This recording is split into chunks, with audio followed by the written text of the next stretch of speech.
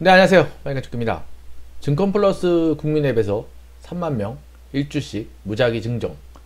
어, 주주 인정을 하면은 인증을 하면은 준다는 거고요. 어, 100% 당첨은 아닌데 일단 많이 주니까 그냥 증권플러스도 깔려있고 삼성전자 주식도 저기 나와있는 인증 주식도 갖고 있기 때문에 그냥 참가를 해봤습니다. 재미로 재미로. 영상이 도움이 되든 안되든 구독과 좋아요 부탁드리고요. 예, 증권플러스 국민이라고 써있는 이 앱을 설치를 해야 되고요 음, 들어가서 한 주만 가지고 있어요. 있어도 인기 주식 들어요. 이 이벤트입니다. 네. 어, 하단에 인증한 다음에 나의 참여 종목 확인하기 위해서 어, 종목이 뜨면 되는 거고요. 어, 총 3만 명을 준다는데 1등, 2등, 3등, 4등, 5등 안에 있는 이 사람들, 주주 인정한 사람들에게 어, 숫자들을 16,000명에게 나눠주고 나머지 14,000명은 추첨으로 어, 주는 주식은 뭐 이런 걸 준다는데 뭐 이런 걸 다 주진 않겠죠. 뭐 몇천 원짜리 주기도 하겠죠. 네.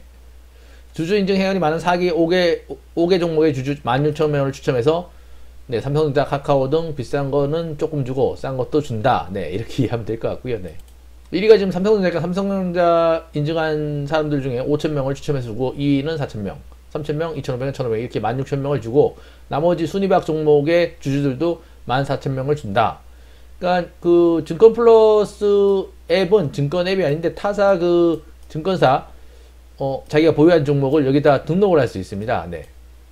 어, 보유 종목 동기화 방법이라고 나와 있는데, 네, 한참 봐야 되죠. 한참 봐도 뭐든지 잘 모를 정도로 어플이 참 혼란스럽게 만들어져 있어요. 네, 사실.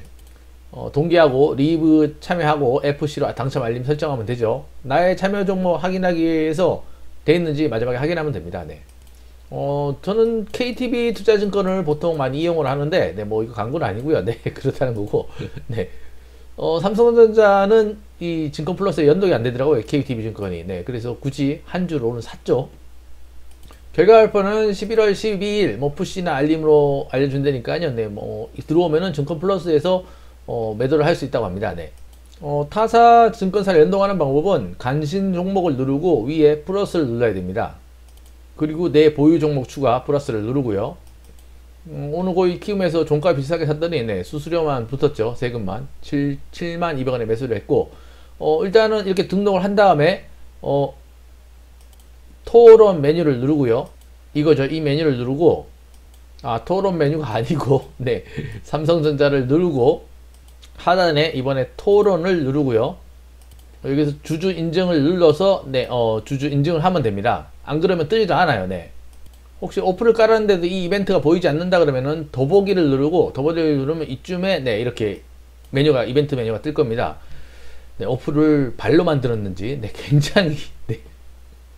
일단 저 같은 경우에 증권 플러스 앱이 설치가 되어 있었고 네, 삼성전자 주식도 있고 하니까 네, 그냥 참여한 겁니다. 100% 이벤트가 아닌데 네, 3만 명이고 네, 혹시나 하는 마음에 그냥 심심해 가지고 네, 한번 해봤습니다. 네, 어, 뜨길래요 자꾸 네 하라고 네.